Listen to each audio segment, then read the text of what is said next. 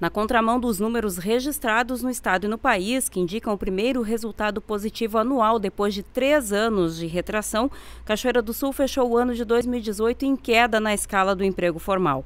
Conforme o levantamento apresentado pelo Ministério da Economia ontem, baseado no Cadastro Geral de Empregados e Desempregados, o CAGED, Cachoeira do Sul registrou 4.241 demissões ao longo do ano de 2018.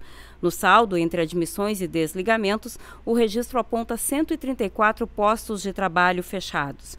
Só em dezembro, Cachoeira perdeu 79 empregos. Foram 272 contratações e 351 demissões no mês. O setor que mais demitiu, conforme o relatório, é a indústria de transformação, fechando 63 postos de trabalho na cidade, seguida do setor agropecuário com 48 demissões. No Brasil, o resultado positivo anual foi puxado pelo setor de serviços, que gerou 398.603 postos de trabalho com carteira assinada.